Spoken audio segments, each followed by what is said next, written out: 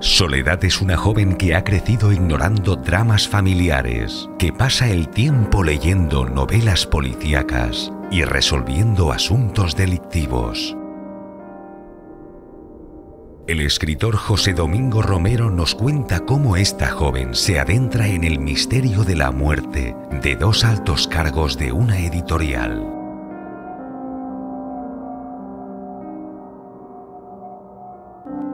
Ya a la venta en libreriacirculorrojo.com.